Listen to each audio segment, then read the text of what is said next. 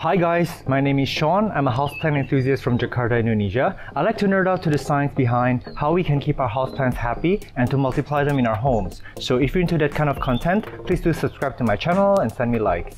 This video is going to be a three-part series. I'm going to cover three different uh, potting mix here that I've developed and this is actually very very important because each plant uh, family has evolve very differently in their natural habitat. And in order for them to be happy in our uh, homes, we should give them the optimal conditions. And one of them, other than sunlight and watering, would be the potting mix that you choose for it. Um, don't get me wrong, any plants can literally live in mm, any potting mix as long as you adjust the watering correctly. There are minor adjustments that you can do. So there's no uh, right or wrong. However, if you give them the medium that absorbs and releases water and uh, gives, have that property where their roots really like, uh, they will thrive for you. So the three mediums are the aroid uh, potting mix right here, uh, the general purpose potting mix, and finally here we have the jungle floor uh, potting mix. So do check out all three videos as I go through with you how to use them, uh, what kind of species would uh, thrive in them, and I will show you also uh, in my around my home uh, a tour of what my plants look like when they're potted in these mediums. I also explain, you know, the why, like why do they like these mediums. So without further ado, let's get started. Welcome to today's video. I'm going to talk about my general purpose potting mix and I'm actually doing a voiceover now because I lost audio for this particular clip. Sorry about that. And in case you missed my previous two videos, I discussed the aroid and epiphyte potting mix as well as my forest floor potting mix.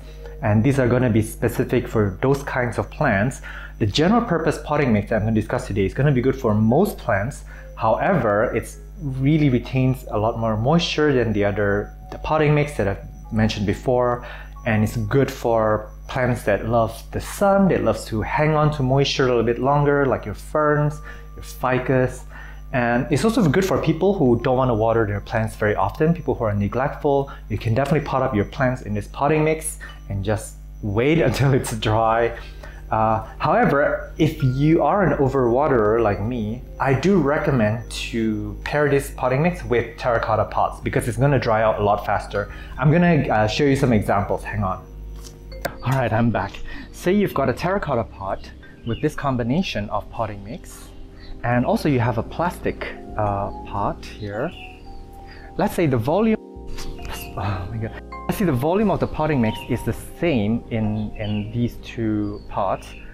Your terracotta is gonna dry out way faster. In my experience, if I right now with water, plant in it, this will take about uh, three to four days to completely dry out. That means that air is actually going through the porousness of the pot uh, and then drying out the inside of the of the pot uh, of the potting mix here. This will take about I don't know 12 to 14 days to completely dry out.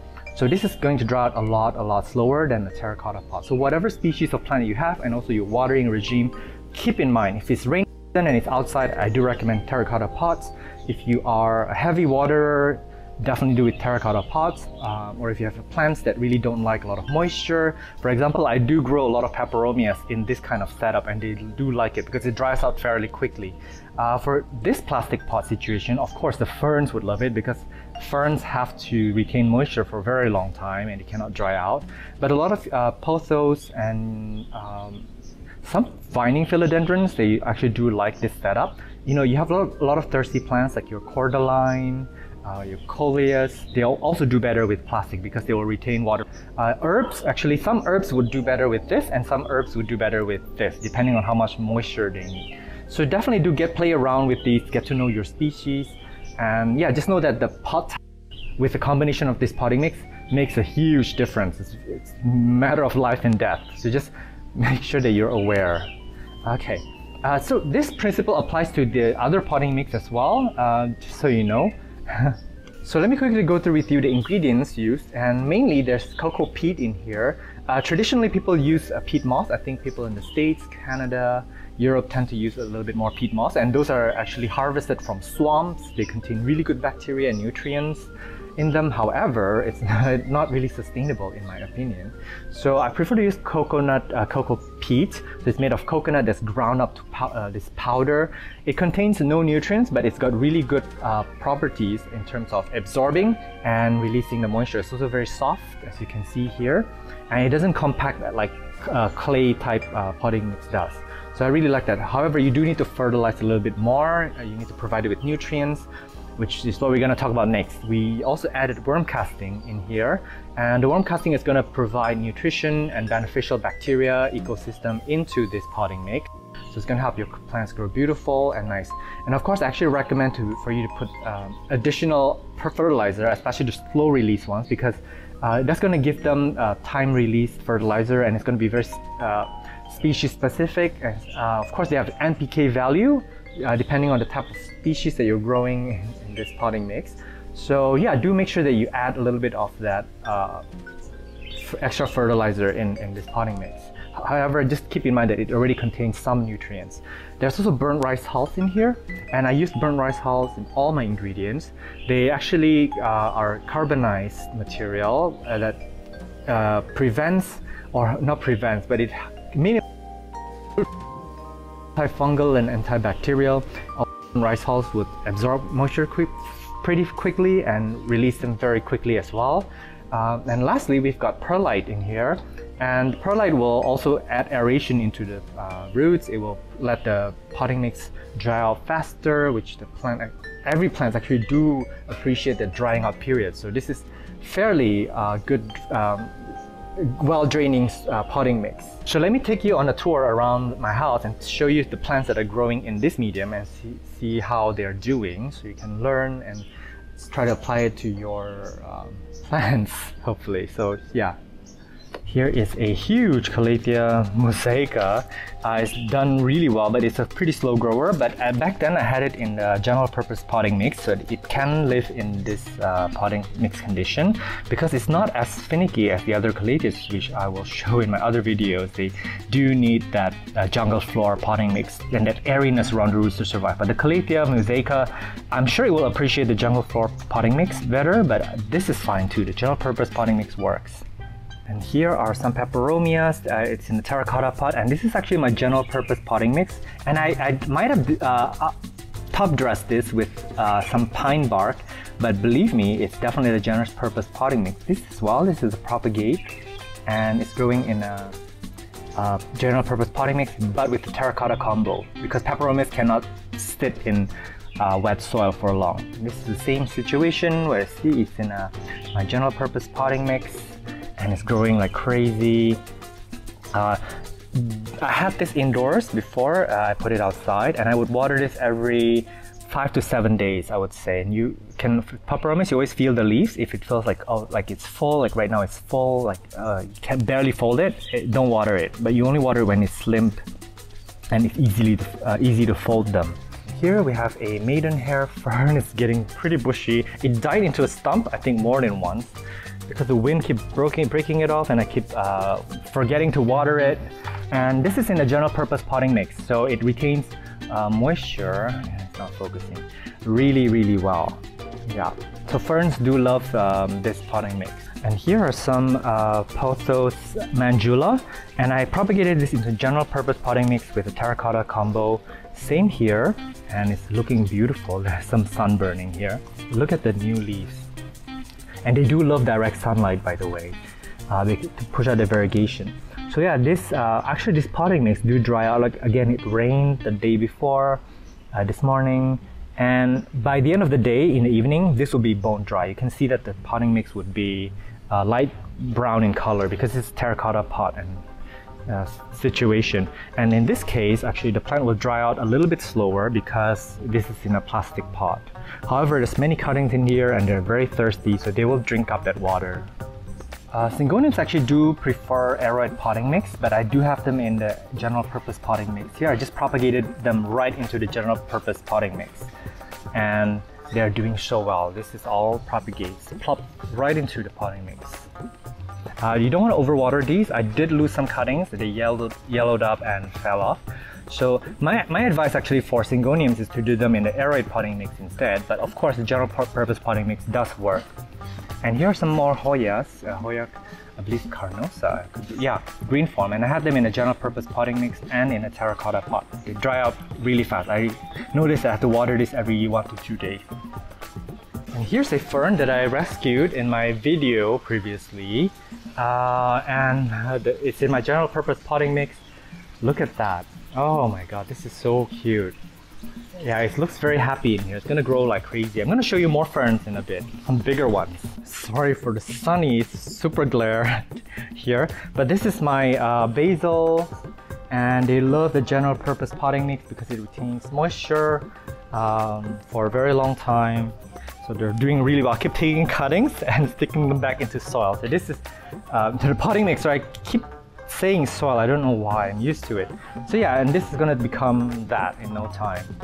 There's a citrus plant here in my general purpose potting mix. They do want to dry between watering, but they do want, uh, when they're watered, they do want to be well fed because they are very thirsty plants. Here is a rosemary and uh, well, and a general purpose potting mix terracotta pot.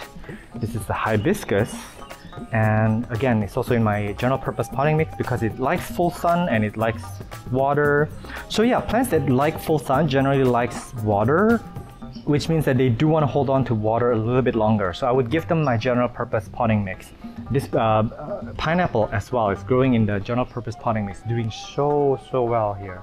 And yeah you don't want to leave them to dry out because this is the full plant section again and there's caladiums in here and also it's in a general purpose potting mix. But I think this is going to be dormant soon. Actually this begonia was grown in a terracotta pot and in a general purpose potting mix. And it's a new growth happening. So yeah um, actually this begonia would appreciate a jungle floor potting mix better but this is fine too because this is in a terracotta pot. They do need to dry out completely between waterings. So if this was in a plastic pot I would definitely have gone with a jungle floor potting mix because uh, this general purpose potting mix would not be good with a plastic pot for begonias. It would just overwater them. But they are happy with this uh, terracotta pot. Here we are in the fern section and actually a lot of these are grown in the uh, uh, general purpose potting mix because they do need to retain moisture a lot longer. As you can see, Gia! Cut it out! As you can see here, uh, this is direct sunlight. This is morning direct, so don't worry about this plant. They cannot take full sun, but they do appreciate the direct sunlight. So yeah, I give them that, closer.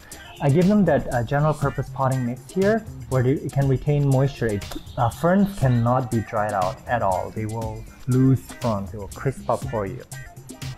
And I have caladiums over there, and of course I'm not gonna get close to it because I have to climb over the fence and it's yeah, it's not that kind of day.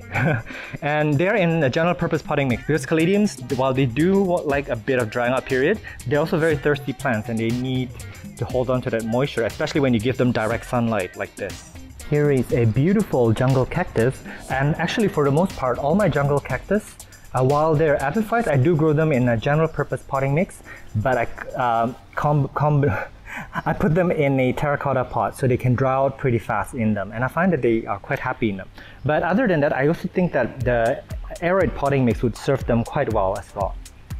And here's a Ficus elastica, burgundy, and um, this is three plants in one pot which means that it has to be uh, watered pretty frequently because they're going to be very thirsty and it's putting out aerial roots how cute so this is in a general purpose potting mix it, it is top dressed with burnt rice hulls because we for aesthetic reasons however because of heavy watering the perlite would rise to the top so now we have perlite on the top as well but yeah I have to water this plant every day it's very thirsty uh, but it is in a fast draining general purpose potting mix and there's going to be a lot of roots.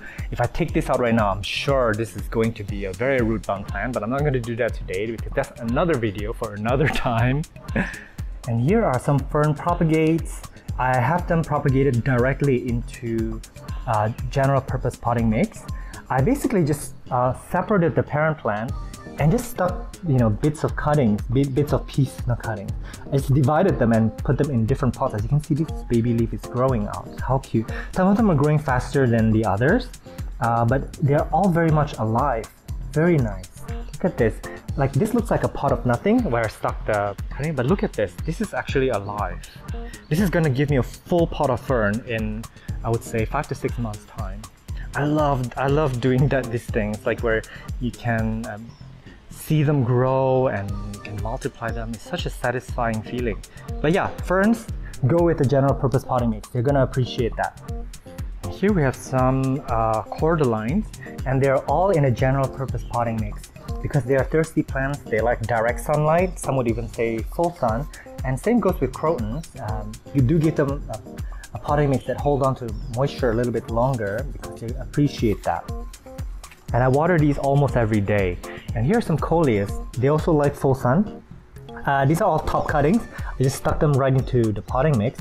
And it's been in here for about two weeks and they're doing well. Look at the baby leaves over there, how cute. Yeah, so you can also propagate plants directly into the general purpose potting mix. And more ferns here, of course, and they are propagated also into the general purpose potting mix. I love looking at baby ferns. Hello, look at that. Hi. What's your name? Here's some uh, Peperomia argyreia in terracotta pots and general purpose potting mix. They love it. It does dry out pretty fast. I water this every two to three days uh, yeah, it's happy. And this is another one also. And oh my god, look at the growth, crazy.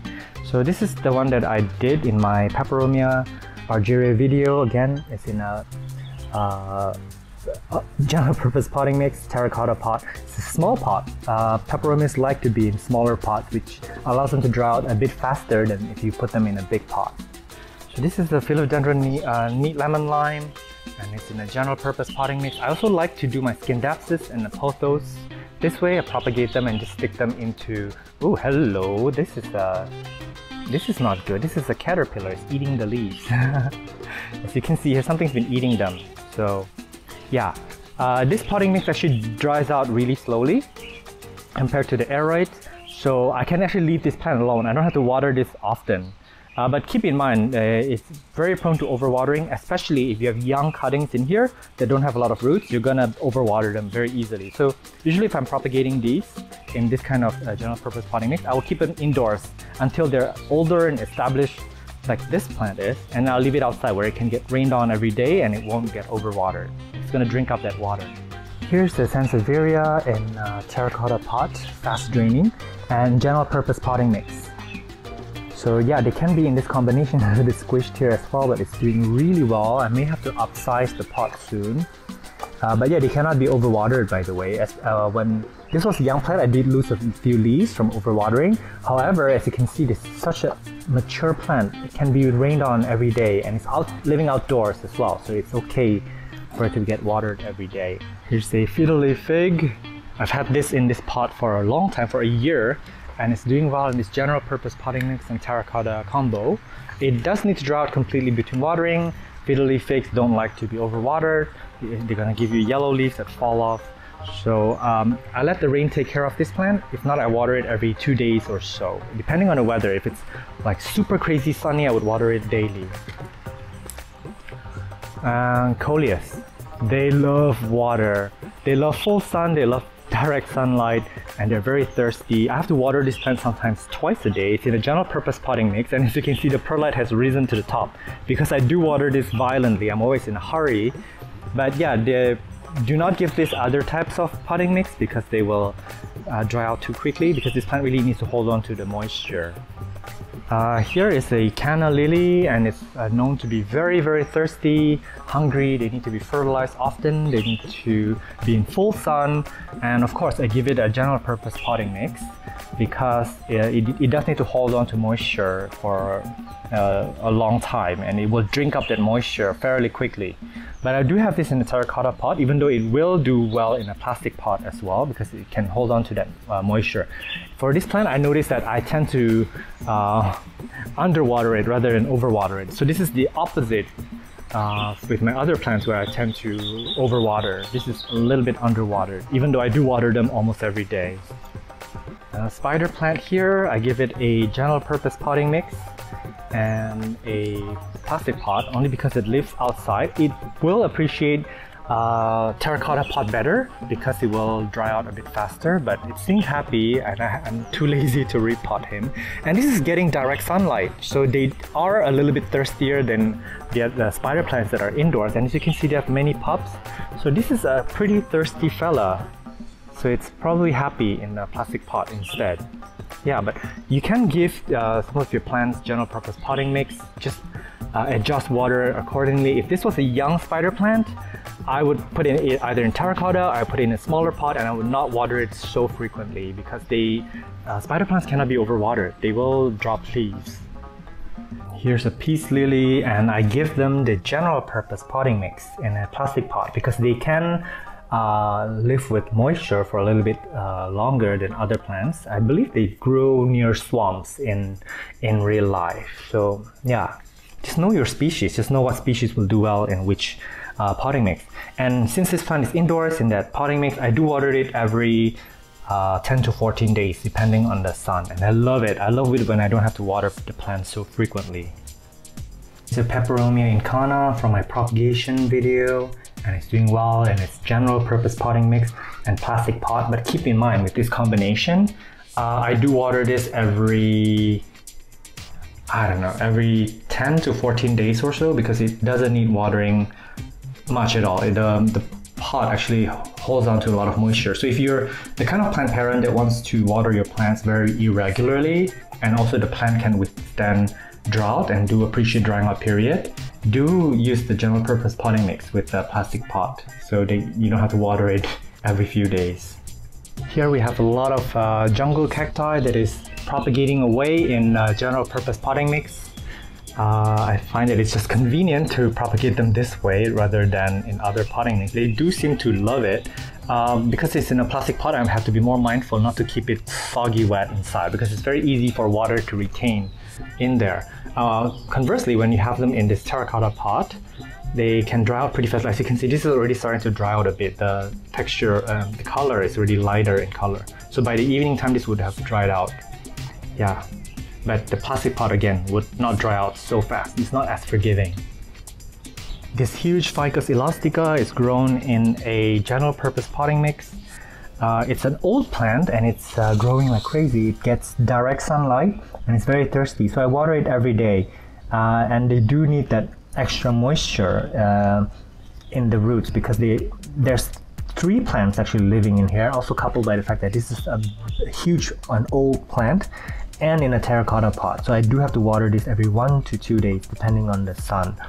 So I'm gonna do a rapid fire tour to show you all my peperomias that are propagated directly into general purpose potting mix and terracotta pot. They seem to love it and this one's growing to a new point. So this is that, that, and this is a new peperomia that I just put in. Um, yeah, general purpose, general purpose, and you just water it very regularly. Uh, here's some uh, Hoya bella, and Hoya bellas are thirsty plants. They like to stay in uh, water. I think they might be pests or uh, hard water stains. I'm not sure, but they do like to stay a bit moist, so I keep them in a plastic pot and general purpose because they cannot be left to dry out. Here's an aglaonema. By the way, aglaonemas do like a general purpose potting mix, or they also do like the jungle floor potting mix. However, my, my trick is that for terracotta pots, do give them general purpose because it will dry out too fast, and for plastic pots, use the jungle floor. Here is a uh, ZZ Raven that propagated also directly into the general purpose. Here is a jungle cacti that is propagated into the general purpose potting mix, and it's already putting out growth. How nice. Jungle cactus do like a lot of different uh, potting medium. They can survive in different uh, conditions, provided that you don't overwater them. Uh, let me see what else. And here, I think finally, I'm just gonna end the tour right here. This is the Peperomia raindrop polybotrya, and there's four cuttings in here, and they do so well in this uh, general purpose potting mix. I don't really water this much. Uh, I would say every mm, I don't know, five to seven days, but there's because there's so many cuttings in here, that's why they, they are a little bit thirstier. If you only had one plant in here, I may have to water it only every 10 to 14 days. Uh, so yeah, thank you so much for watching this video. I hope that it's in, uh, helpful and understanding, you know, potting mix and your watering schedule because that's really really important depending on your species and the, the potting mix that you give it. I hope that you can pick up one of these maybe if you're in the Indonesia region or if you want to mix your own. Uh, good luck and I hope that your plants are happy and thriving, that you're all safe. I will see you in the next video. Thank you. Bye.